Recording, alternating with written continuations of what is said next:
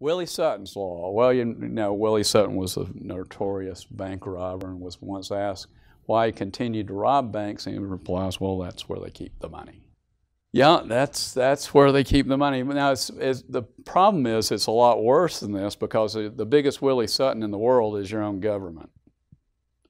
And the reason uh, I wasn't making much headway trying to save the traditional way, the way you know your mom and daddy taught you to save by going down to the bank and putting money in that bank, or or even I was in high finance trying to open up my mutual funds and doing it this way.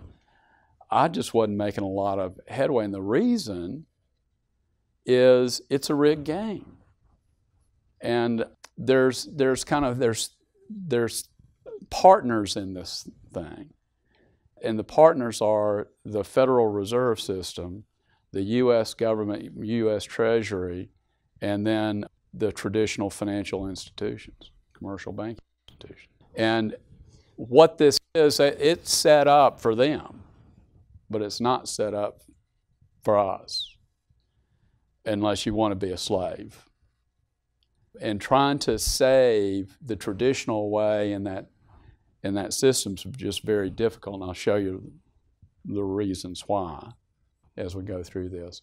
One of my favorite economists from the past is this guy, Frederic Bastiat. It's a 19th century French economist.